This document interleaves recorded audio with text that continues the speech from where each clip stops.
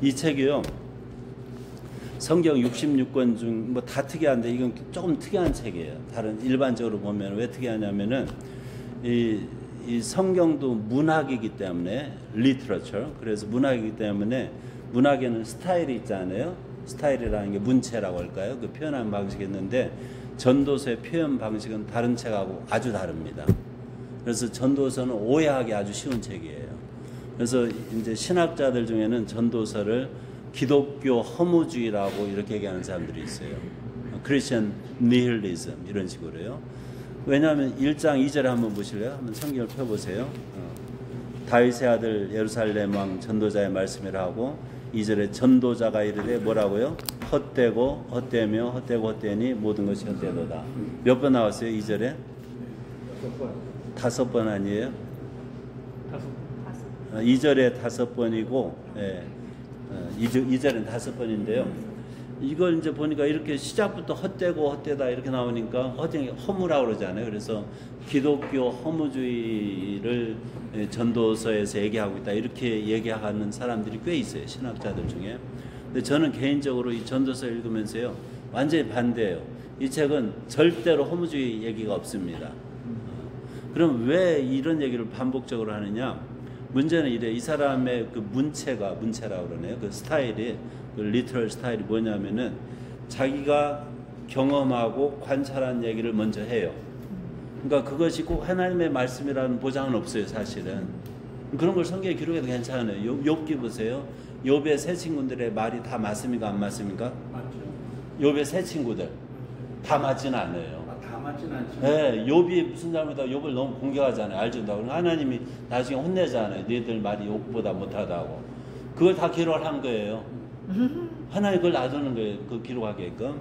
그래서 이 여기 전도서에 기록된 이 모든 말이 이 저자의 관찰과 경험의 결과를 말한 게 있는데 그것은 꼭 그 하나님께서 우리에게 주시고 하는 말씀이라고 또 생각할 수는 없어요. 그런데 그것도 또 이유가 있어요. 그 나름대로.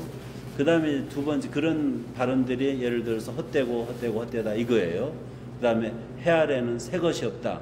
이 사람이 관찰하고 경험한 결과를 얘기를 하는 겁니다. 그러니까 우리가 좀 이제 여러분들 이제 많이 사셨으니까 오래 사셨으니까 오래 산 사람들은 고개를 끄덕끄덕 할 수 있는 얘기들이 많아요. 그렇지 않아요? 어린애들한테 해 아래 새 것이 없다 그러면 웃기네 그럴 거라고요. 다 새 거잖아요. 경험하지 못한 게 많고 그런데 여러분 나이대 되면 새 것이 있어요 없어요? 벌써 늙으신 거예요. 죄송합니다. 죄송합니다. 이제 연세가 드셨다고요. 그러니까 새 것이 없다 그러는 거예요. 예. 뭐 해보니까 그게 그거고 저도 이제 여기저기 돌아다녀 보니까 도시는 다 똑같더라고요. 도시는 다 똑같아요. 전 촌놈인데 서울이나 타이페이나 예루살렘이나 뉴욕이나 도시 생활이 그게 그게 그거예요. 제가 볼 때는 이미 옛날부터 그렇더라고요. 이미 해탈의 경지에 있습니다. 해탈도 아니고요. 그건 해탈도 아니고 아니 새 것이 뭐가 있습니까, 집사님? 매일 아침 일어나서 인터넷 딱 키면 매일매일 새롭습니다. 아 그래요? 그럼 전도사가 이 매일매일. 그런데 감당을 못할. 이 이제 그것은 이제 이 과학 특별히 자연과학 기술 새로운 것들이 막 쏟아져 나오잖아요. 근데 저는 그래요. 저같이 이제 인문과학 한 사람은 그 원리는 다 똑같다고 보거든요. 결국 하나님이 이미 다 해놓은 거 우리가 발견하는 것 뿐이지 발명이란 말 좀 쓰기가 부끄럽다고 저는 생각하거든요. DNA를 인간이 발명했어요, 발견했어요. 발견이 전기를 발명했어요, 발견했어요. 저는 웬만한 건 다 발견이라고 봐요. 하나님 다 해놨는데 우리가 찾아내가지고 쓰는 거지. 그 뭐 새로운 게 뭐가 있습니까? 저는 그래 보거든요.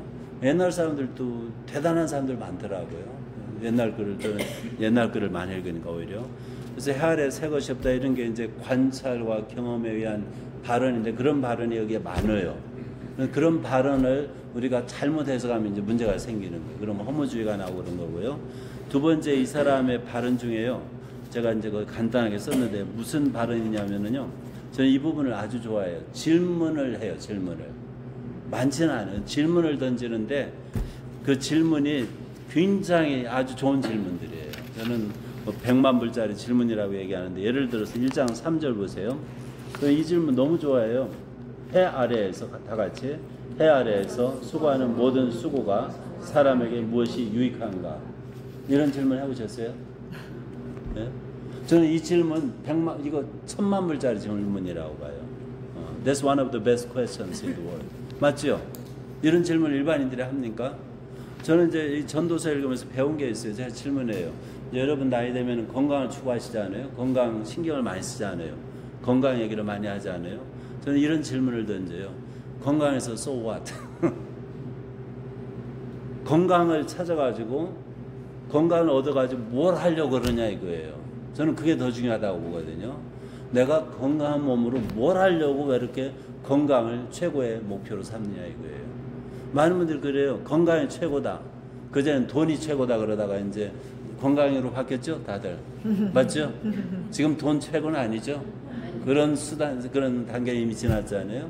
어렸을 때 뭐가 최고예요? 외모가 최고잖아요. 멋이 최고고. 그건 완전히 벗어났잖아요.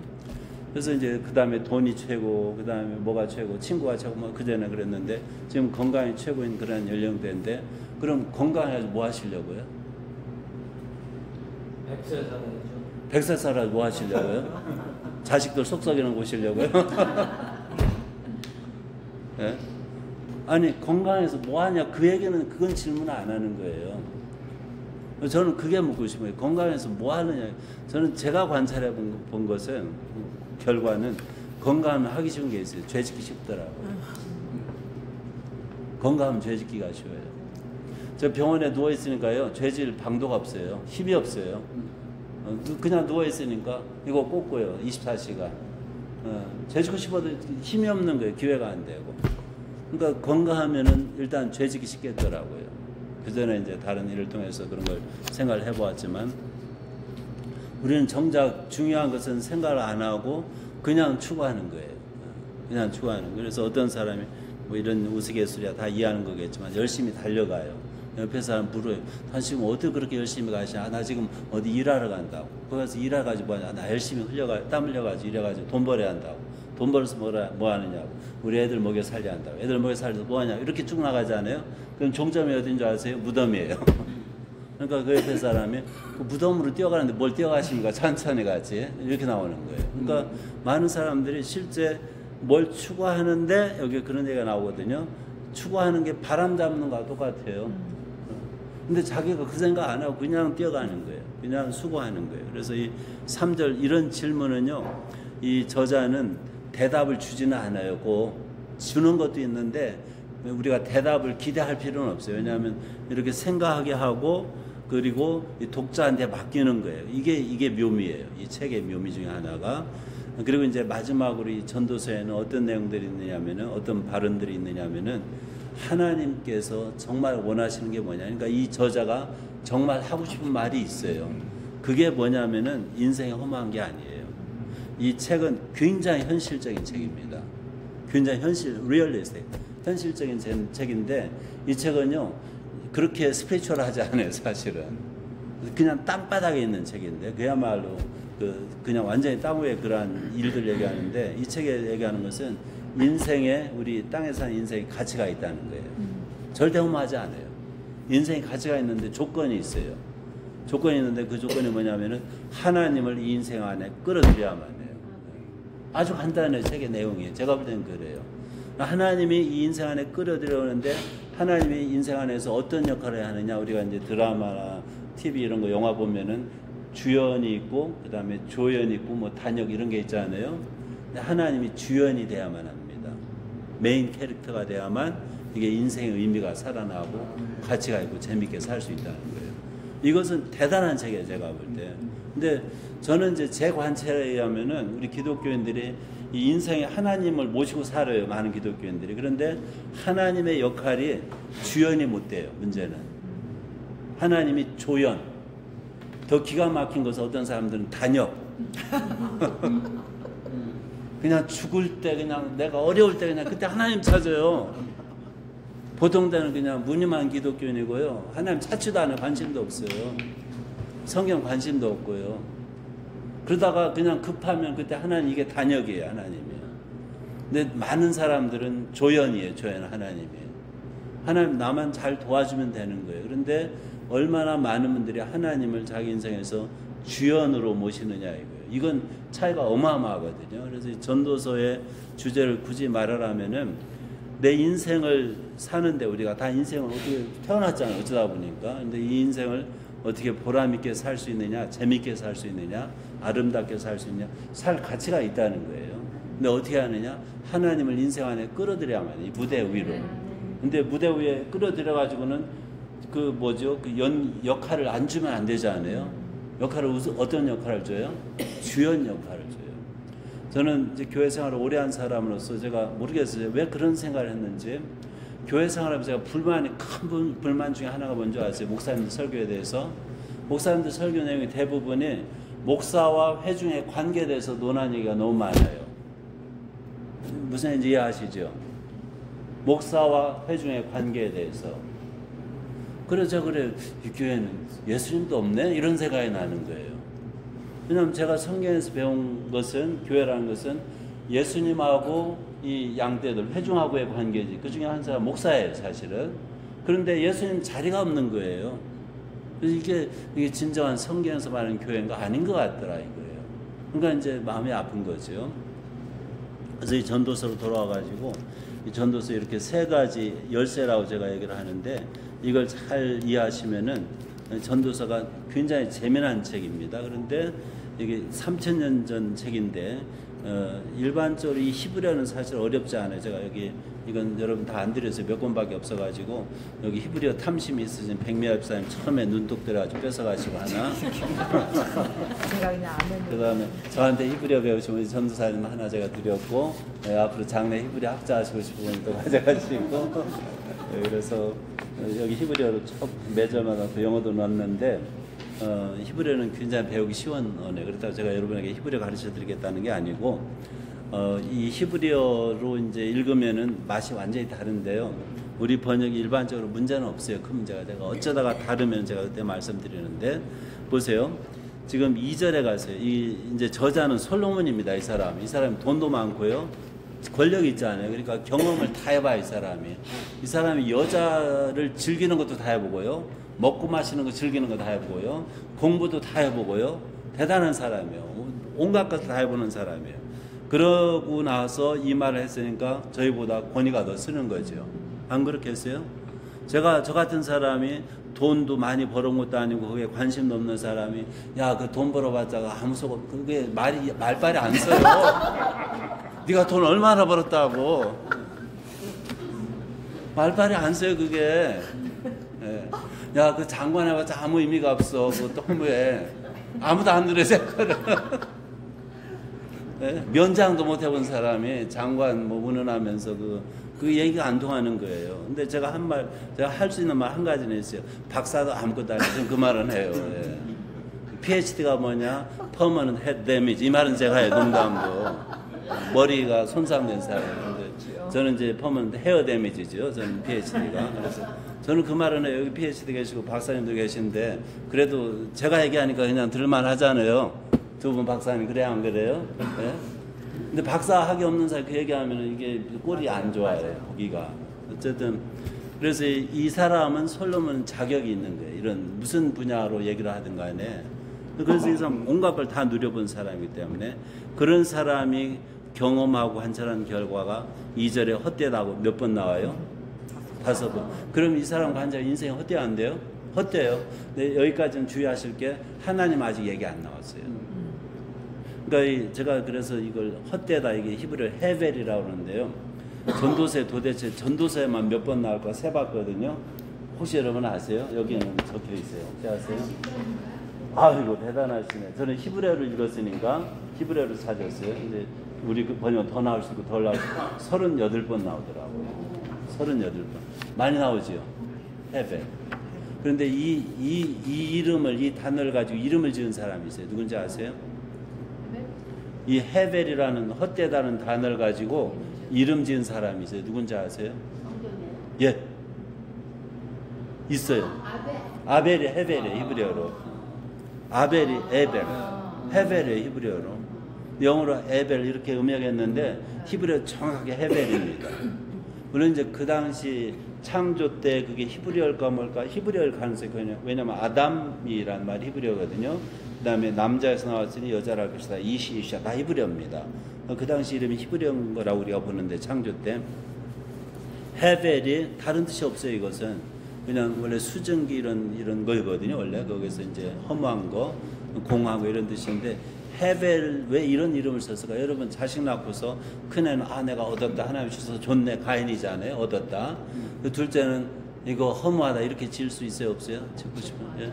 근데 제가 볼 때 이 가인이 크면서 속을 많이 썩인 것 같아요. 그러니까 이 부모가 애 낳아자 소용없다 헤벨 이렇게 진 것 같아요 어쩌다가 예. 그럴 수 있잖아요 예. 이 중국 사람들 중에 절강성 온주에 사람들 이름이 이상한 이름이 많아요 그 사람들이 중국말 한자를 잘 몰라가 중국 사람들이 면사무소 가서 등록할 때 이렇게 말한 거 그, 그 서기들이 아무렇게 해줘가지고 이상한 이름들이 굉장히 많습니다 그래서 어떤 애는 스스, 어떤 애는 뭐, 뭐, 하여튼 이상한, 괴상망측한 이름이 많더라고요. 그래서 너희들 왜 이러니 그랬더니 부모들이 무식해가지고 그랬대요. 면사무에서도. 그러니까 헤벨도 어쩌면 아담이 무식해서 그런 게 아니고 아담이 가인이 속을, 제 의견입니다. 그냥. 그래서 할 수도 있어요. 가인이 속을 너무 많이 쓰니까 이놈이 둘째 낳고서는 기쁨이 없는 거예요. 그래서 헤벨, 그렇게 진 것이 아닌가 싶은데 그 이름이 아벨이 헤벨이에요. 어때다. 그게 몇번 나온다고요? 세셨네요. 서른 여덟 번 나왔어요. 제가 틀림이 없다면. 그런데요, 제가 이제 호기심에서 이런 식으로 우리가 보통 해석을 안 해요, 성경을. 엘로힘이란 말이 하나님이란 말입니다. 몇 번 나왔을까요, 전도서에? 이 사람은 안 해. 같은 집에 사는 사람이 가르쳐 줬어요. 39번 나와요, 전도서에. 엘로힘이. 근데 앞에는 안 나오거든요. 몇 절에 처음 나오는지 한번 보실래요? 하나님이. 1절, 2절, 3절 안 나오죠? 4절 안 나오죠? 몇 절에 처음 나와요? 하나님. 13절. 예? 처음 나오는 게 어디예요? 13절에 나오죠. 13절에 처음 나와요? 네, 그러니까 이, 이 사람이 뜸 들이는 거예요, 지금. 예, 맞아요. 13절에 처음 나와요. 뜸 들이는 거예요, 지금. 이 저자가. 그 다음에 2장 24절로 건너가서 나옵니다. 그러니까 처음에 자기가 정작 하고 싶은 얘기를 좀 숨기다가 안 하다가 그 다음에 나중에서 탁 얘기를 하는데 1장 13절에 처음 나오는데 이 하나님이란 엘로임이란 히브리어 단어가 정확하게 39번 나오더라고요. 전도서에. 38번 헤벨, 39번 아, 엘로임인데 저는 이제 이렇게 한번 해석을 해봤어요. 전도서란 책을 통해서 이 헤벨, 헛되다란 단어의 횟수, 하나님 횟수를 그냥 통계적으로 볼 때 하나님이 한 번만 많으면 절대 헛되지 않아요. 우리의 삶에서. 그냥 통계적으로 생각을 한 거예요. 이게 꼭 이런 해석이 좋다는 게 아니고 사실 인생이 허무합니다. 그건 제가 저도 인정해요. 여러분 안 그래요? 네. 허무해 사실은 어머나 허무한 일이 많. 살다 보니까 저희들도 저희 모두 가끔 지금 저희 나이도 그런 얘기 합니다. 다 그냥 허무하네. 별거 없네. 그렇게 얘기를 많이 해요. 뭐 살아보니까 별거 없네. 그런 얘기를 여러분 하시는지 모르겠는데 뭐 그게 그거잖아요. 다 별거 없어요 사실은. 그런데 하나님이 한 번 더 들어가면은 이게 의미가 생겨요. 의미가 있어요 실제.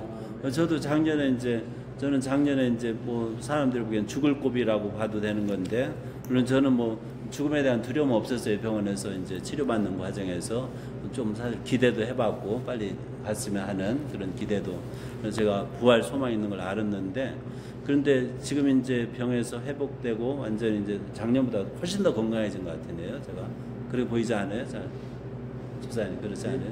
작년 초에 우리 4월에 수목원 갔을 때 제가 6월에 병원 들어왔는데 굉장히 몸이 안 좋았어요 사실은 잘 모르시죠?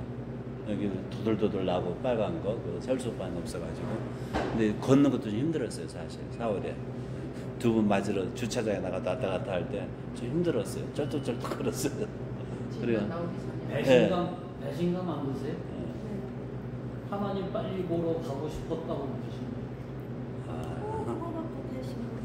갈 사람 가야지. 간다면 그런데 해야죠. 아니 우리 마누라가 그런 소리 했으면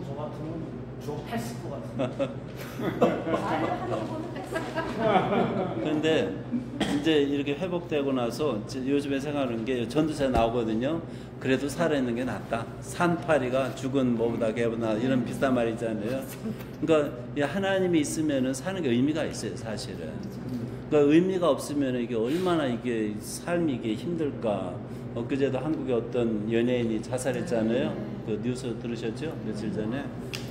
어, 참 이게 젊은 사람 같은데 40대인가요? 그 사람이? 48세예요. 예. 얼마나 불쌍해요. 어쨌든 그 영혼이. 더군다나 우리가 이제 아는 사람이니까 누군지 뭐 저는 잘은 몰라도 어쨌든 그런 사람이라니까 이게 허무할 수 있는 인생인데 하나님만 우리가 모시면은요 한 번이라도 더 모시면은 문제는 없습니다. 그리고 의미가 있어요. 그래서 그런 식으로 해석을 하고요. 그 다음에 3절 그거 한번 다시 읽죠. 한 해 아래에서 수고하는 모든 수고가 사람에게 무엇이 유익한가 그랬잖아요. 이게 질문이 진짜 기가 막힌 질문입니다. 이 질문을 지난주에 이사야서 53장 얘기하면서 기억하시는지 모르겠는데요. 이 똑같은 단어가 이사야서 53장에 나옵니다. 거기 10절, 11절에 나와요. 예수님이 그 메시아가 그의 수고한 것으로 수함으로 말미암아 후손을 볼 것이다. 씨앗을 볼 것이다. 그러니까 예수님도 이 땅에 사람의 모습으로 와가지고 엄청나게 수고를 하신 분이에요. 근데 그분은 수고하는 목적이 있어요. 수고해가지고 어마어마한 죄인들이 의인이 돼버려요.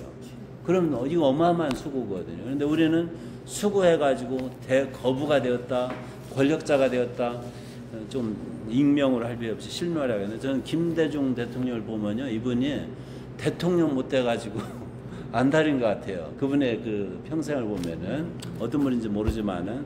그래서 대통령 돼서 so what?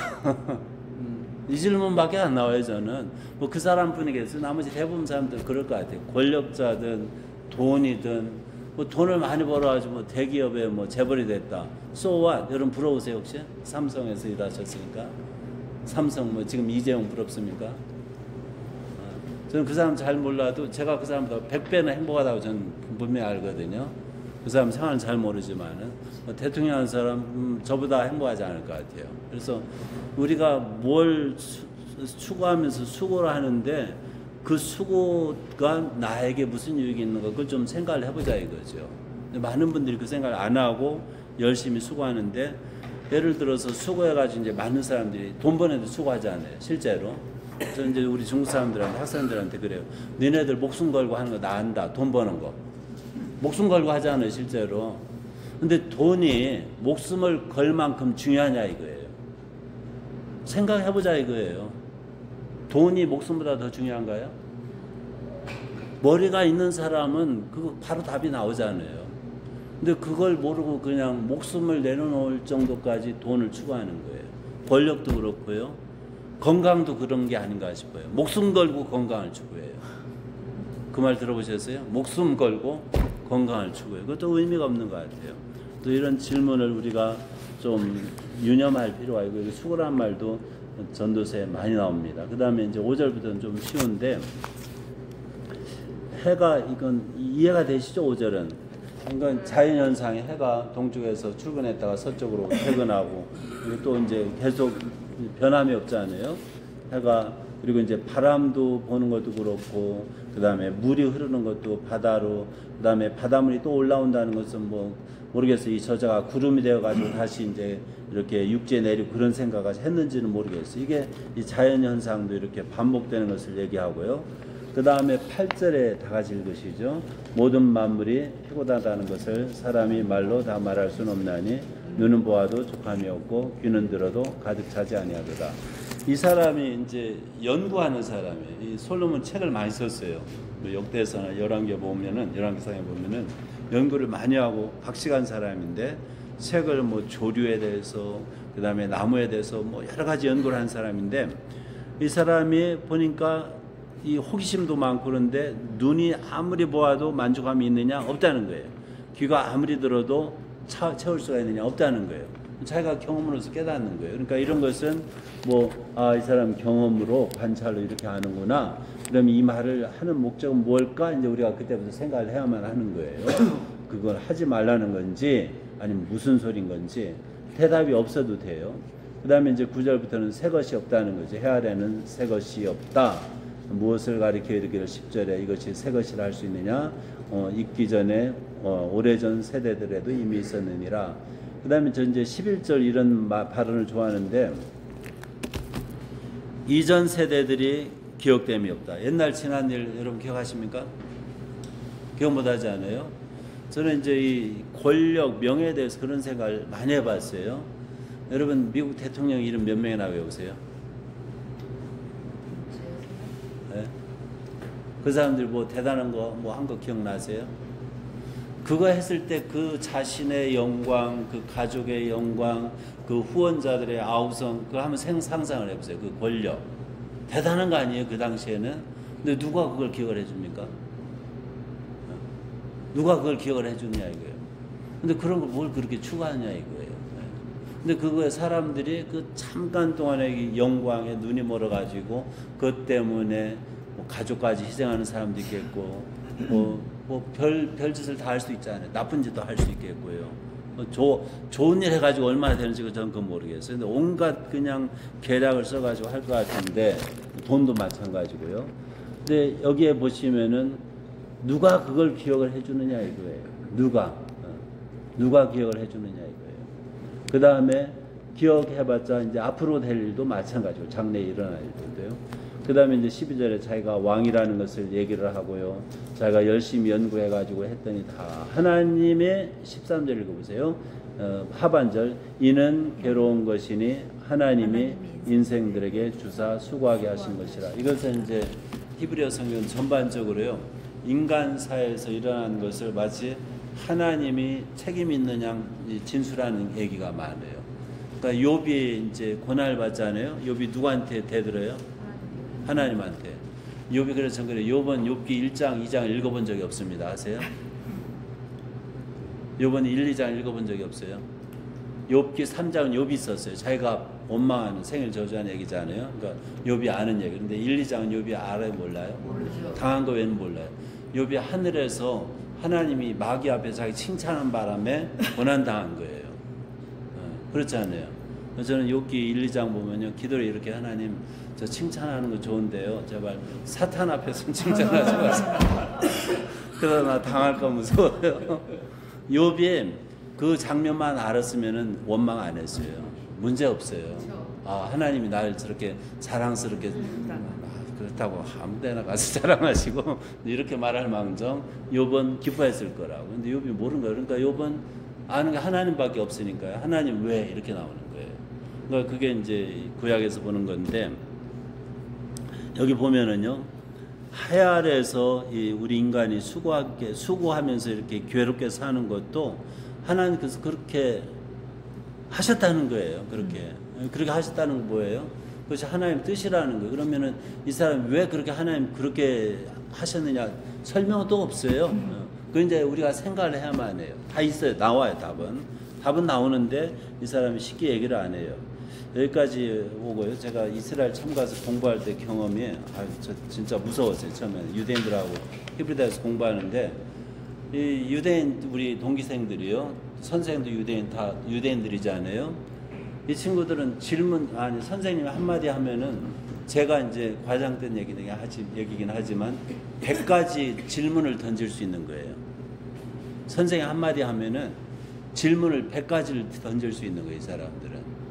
어, 저는 아시아에서 이제 아주 착실하게 공부해가지고 선생님 뭐라고 하시면 아멘 이런 사람이거든요. 그런데 시험 때까지 잘 기억하고 있다가 그걸 다 쓰면 이제 좋은 점수 나오고 이렇게 이제 학생 노릇을 했는데 제 동기들은 유대인 동기들은 저보다 아는 것도 없는 것 같은데 이 친구들이 한마디 들으면 질문을 그렇게 잘하는 거예요. 그래서 제가 겁에 질려 버렸어요 처음에. 그 겁이 나. 그리고 이제 유대인들이 이제 가르쳐 준 게 공부할 사람들은 질문을 하지 못하면 공부하지 말래요. 질문을 못하면은 공부할 자격이 없대요. 그런 말을 제가 많이 들었어요. 우리 중국 사람, 거의 우리 중국 학생들 뭐라 하냐면은 질문하는 학생은 나쁜 놈, 수업 방해자 이렇게 얘기해요. 또 선생님들도 질문하는 놈은 문제 학생 이렇게 얘기해요. 문제가 많으면 문제 학생이에요. 문제가 질문이잖아요. 똑같잖아요. 그리고 목사님들 중에서도 질문하는 성도들 싫어합니다. 아세요? 다는 아니지만은. 그 다음에 설교 중에는 질문 절대 금지예요. 우리 교회는 안 그래요. 설교 중에도 질문하는 눈치 없는 분들이 있어요. 근데 괜찮아요. 전혀 괜찮아요. 근데 그게 전혀 문제가 없는 건데 교회에서요. 설교 때 질문이 하, 하나의 불문율이 됐어요. 맞습니까? 안 맞습니까? 예수님 보험사에 보면 예수님 설교할 때 질문하는 사람 있어요? 없어요? 있어요. 예. 예수님 설교하는데 근데 우리 목사님들은 예수님보다 권위가 더 높아가지고 질문 절대 허용을 안 한다고요. 그러니까 그게 그렇게 좋은 건 아니에요, 사실. 너무 이게 예, 예전이 돼버려가지고 이렇게 하는데 여기 질문들이 굉장히 많이 생각을 하게 하는 거라 이거죠. 그 다음에 이제 쭉 읽어보면요. 이 사람이 이제 여러 가지 이제 배우고 지혜를 얻으려고 노력해보고 많은 사람들보다 미친 짓도 해보고 지혜롭게도 살아보고 이렇게 했는데 결론은 뭐냐면은 17절에 다 같이 읽으시죠. 내가 다시 지혜를 알고자 하여 미친 것들과 이러한 것들을 알고자 하여 마음을 썼으나 이것도 바람을 잡으려는 것인 줄을 깨달았다. 이 바람 잡으려는 이 번역이요. 이게 히브리어가 쉬운 표현이 아닙니다. 어, 그리고 이게 도대체 뭘 의미하는지 결정하기가 쉽지가 않은데 어, 저는 제 개인적으로 견해는요 바람 잡으려고 하는 우리 한국어 표현이 괜찮은 것 같아요. 제 개인적인 견해는 그래서 여러분 바람 잡으려는 것이 어떤 뜻이에요? 우리 한국말로 한번 설명을 해보세요. 바람 잡으려고 하는 게 뭐예요? 잡히는 게 없죠. 네. 어, 잡히는 게 없지 않아요? 실제 잡, 잡을 수 있어요, 바람. 산소 호흡기 그 산소통에 산소 잡아놓잖아요.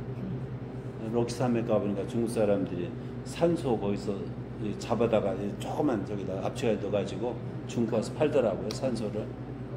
중국 공기가 안 좋으니까. 그런 사람 만났어요, 럭키에서, 캘거리에서. 근데 어쨌든 이제 일반적으로 이제 바람 못 잡잖아요. 그러니까 우리가 마치 이제 달 따온다고 그럽니까? 옛날에 뭐라고 하죠? 달. 별따, 별따, 별따기, 하늘의 별따기 이런 표현하죠. 근데 바람 잡으려는 것인 줄 알았다. 이게 무슨 말이냐면은 우리가 이것저것 다 추구하지만은 어, 하나님이 그 자리에 없으면요 다 헛짓인 거예요 말하자면. 그러니까 이게 어떻게 보면 굉장히 심한 말인데 아닌 말 이런 말인 거예요. 너 돈 벌어 열심히 일해야 돈 벌어 그거 헛짓이야 이거하고 똑같은 거예요. 너 열심히 공부해 그것도 헛짓이에요. 여러분 부모가 돼가지고 애들한테 그 말 할 수 있어요 없어요?